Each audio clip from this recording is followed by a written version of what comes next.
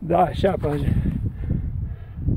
Сейчас Игорь проедет технический участок Lower Porcupine Rim.